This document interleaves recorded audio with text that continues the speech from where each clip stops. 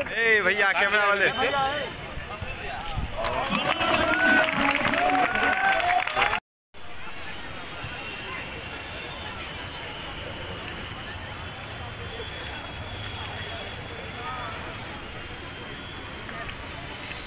Frame set करो देखो पूरे फ्रेम आना चाहिए ना। पीछे रहो तो दूरी से बनाएगा तो फ्रेम सब आएगा देखो।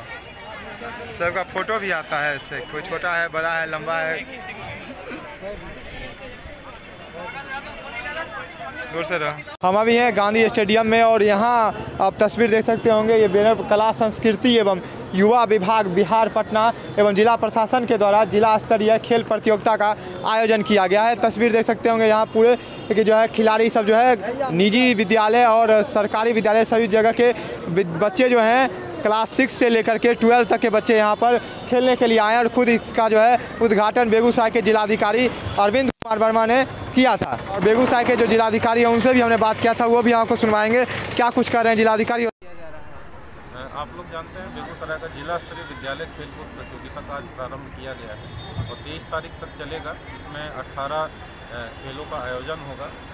और यहाँ पे गांधी स्टेडियम में है और हम लोग का इंडोर बैडमिंटन कोर्ट में भी है। बरामदी रिफाइनरी के अंदर भी हम लोगों ने कार्यक्रम रखा है।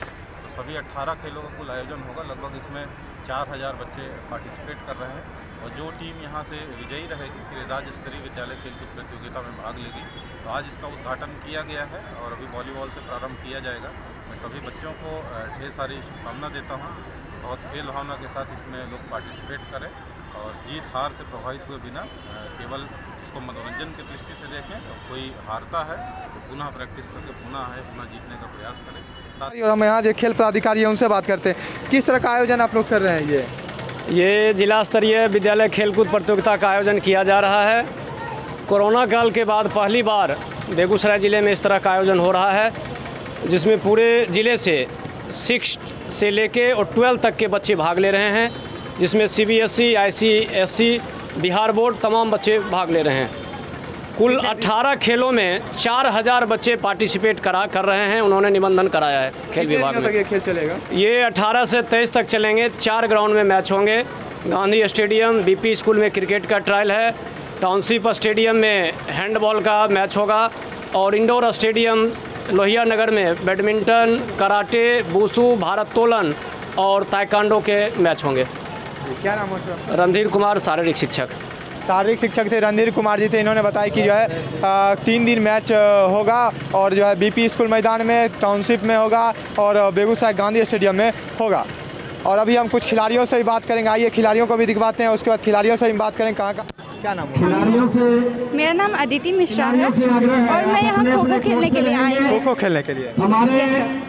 क्या नाम विभिन्न हुआ अनामिका कुमारी। यहाँ किस आए हैं? हाँ? किस लिए आए हैं? खो खो खेलने के लिए। किस क्लास में पढ़ते हैं? सिक्स में। कौन सा स्कूल?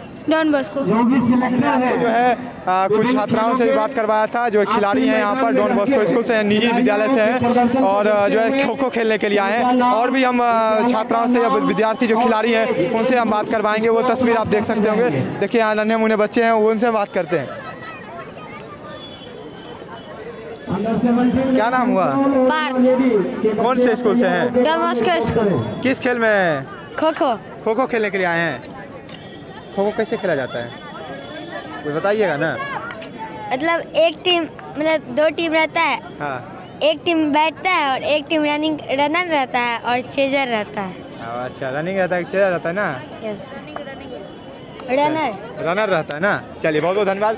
हमने आपको जो है बच्चों से मिलवा दिया था मतलब खिलाड़ी जो है उन सबसे मिलवा दिया था और उनसे हमने बात भी कर किया है। सारे लोग जो हैं, खिलाड़ी हैं, सब लोग एकदम बड़े खुशी हैं कि यहाँ से उनको खेलने का मौका मिला है। और भी अपडेट के लिए देखते रहेगा दा बिहार झारखंड, हमें अमित कुमार।